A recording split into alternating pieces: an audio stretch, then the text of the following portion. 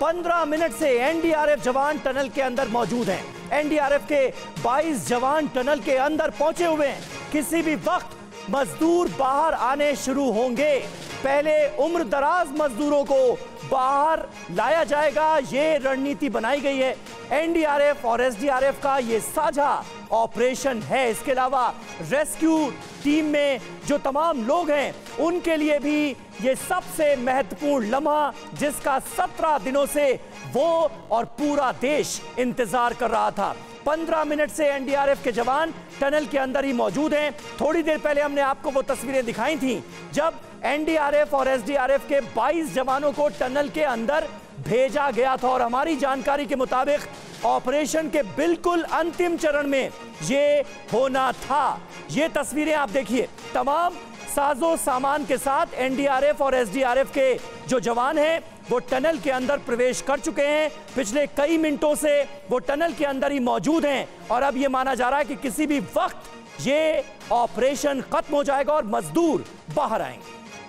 तो TV nine Bharatvarsh लगातार आपको सीधी तस्वीरें दिखा रहा है, जहाँ टनल साइट पर कई एम्बुलेंसेस भी मौजूद हैं। एंबुलेंस को टनल के गेट पर पहुँचाया गया है और ये भी कोशिश की जा रही है कि जल्द से जल्द सभी उन मजदूरों के नज़दीक पहुँचते हुए उन्हें सुरक्षित बाहर निकाले। ये उस वक्त की तस्वीर, जब देखिए, न सिर्फ़ बाहर से एम्बुलेंसेज अंदर गई, उसके बाद कुछ लोग गद्दे उठाकर भी अंदर लेकर जा चुके हैं। और ये भी कोशिश की जा रही है कि कुछ स्ट्रेचर भी हो। ये एंबुलेंस जब अंदर जा रही हैं, उसी वक्त ये तस्वीर देखिए, क्योंकि एंबुलेंस को पूरी तरीके से टनल के जितने अंदर तक संभव हो अब वहाँ पर तैनात किया जा रहा है। एंबुलेंस में ज़ाहिर सी बात है, डॉक्टर्स की टीम्स हैं और ये भी कोशिश की जा रही है कि अगर वहाँ पर ज़रूरत हुई, क्योंकि अंदर इतने दिनों से ऑपरेशन चल रहा था तो गद्दे भी अंदर ले जाए गए हैं। शिवांग हमारे सहयोगी इस वक्त हमें ज्वाइन कर चुके हैं। शिवांग, कितनी अंदर तक और कितनी एंबुलेंस अंदर गई हैं? ये अंदर का पूरा रूट क्या है? कितने अंदर तक ये एम्बुलेंसेस जा रही हैं? और ये भी कि अब कितनी दूरी बाकी है? देखिए, ऑपरेशन बिल्कुल अंतिम पड़ाव पे है, खत्म होने वाला है। या यूँ कहें कि कुछ मिनटों का, कुछ मिनटों की देरी और। जैसा आप देख रहे हैं, जैसा मैंने आपको सुबह बताया था कि ये पूरा ट्रैक बनाया गया है, जहाँ से एम्बुलेंसेज का निकास होगा।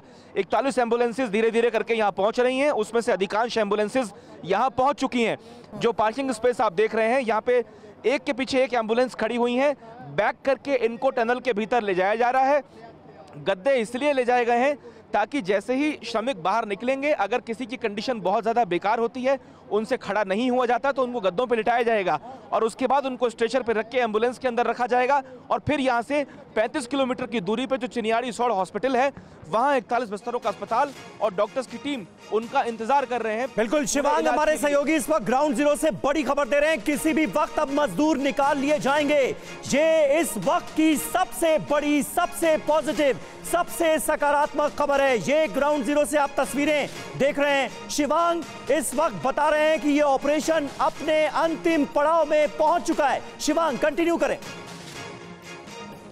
देखिए, मैं आपको बताऊँ कि इस पूरे ऑपरेशन में 17 दिन तक ना एक और फैक्टर काम किया है कि जो यहाँ पे अधिकारी हैं या जो जो लोग यहाँ काम कर रहे थे, जो श्रमिक यहाँ काम कर रहे थे, उनकी भी हौसला अफजाई जो की है वो यहाँ के आसपास के ग्रामीण लोगों ने करी है। अपना अपना काम छोड़ के तमाम ग्रामीण लोग यहाँ रोज आते थे और उनमें से कुछ लोग भी हमारे साथ यहाँ मौजूद हैं। क्या नाम है आपका? नाम बताइए नाम बताइए। सर मेरा नाम ब्रेस मोहन सेमवाल है। हाँ कहाँ के रहने वाले हैं? मैं ब्रह्मकाल से हूँ। ये बताइए कि अब आज सत्रहवें दिन जो पॉजिटिव खबर निकल के आई है ग्राम ग्राम के जो लोग हैं गाँव के जो लोग हैं उनमें कितना उत्साह यहाँ देखिए। बताइए। देखो जी अभी क्षेत्र में तो बहुत खुशी का माहौल है। सब लोगों की आँखें जो नम हो रही है। हमारे क्षेत्र के लोग सब लोग परेशान हो रखे थे। लगातार विगत सोलह सत्रह दिनों से, से लोगों ने खान पान सब छोड़ रखा था। तो सब लोग दुआ कर रहे थे कि हे भगवान बौखनाग हमारे जो मजदूर फंस रखे हैं अति शीघ्र उनको बाहर आप जो है लाइए। हाँ। और दूसरी बात हमारा जो है क्षेत्र है भगवान बौखनाग का है वो प्रसिद्ध देवता है यहाँ का। और उसी देवता तो उन्हीं की कृपा हुई है आप ये मान? बिल्कुल सत्य प्रतिशत ही भगवान की कृपा हुई है भगवान के आशीर्वाद से ही सब लोग बाहर आए हैं। अच्छा सुरभि मैं आपको एक बड़ी दिलचस्प बात बताऊँ। कल यहाँ जो क्या है वर्टिकल शुक, शुक्रिया आपका। कल जो वर्टिकल ड्रिलिंग जो हुई यहाँ पे तो वर्टिकल ड्रिलिंग करने के बाद मैं हरीश से कहूँगा आप आपको दिखाएँ। वर्टिकल ड्रिलिंग करने के बाद ऊपर से पहाड़ से पानी निकला।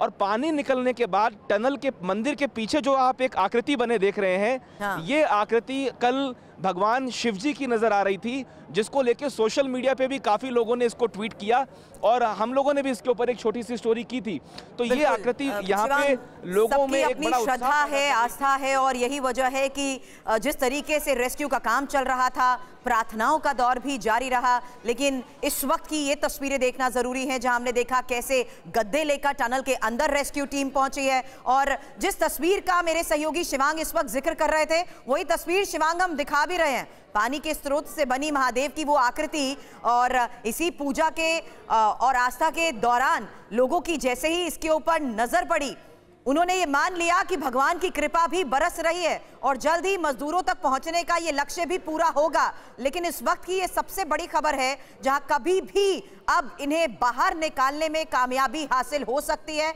और तस्वीरें भी लगातार हम आपको दिखा रहे हैं कि कैसे गद्दे लेकर टनल के अंदर रेस्क्यू टीम जा चुकी है। स्ट्रेचर भी एनडीआरएफ की टीम्स अपने साथ लेकर गई हैं, ऑक्सीजन सिलेंडर्स भी अपने साथ लेकर गई हैं। तो अभी आपने वो तस्वीर देखी थी जहाँ एम्बुलेंसेस किस तरीके से अंदर तैनात कर दी गई हैं। वहीं हमने इस तस्वीर के साथ ये भी देखा कि ज़्यादातर लोग वहाँ पर हाथों में गद्दा लेकर जा रहे थे और शिवांग हमारे सहयोगी उन्होंने बताया कि पहली प्राथमिकता होगी जो उम्र दराज लोग फंसे हुए हैं, उन्हें बाहर निकाला जाए।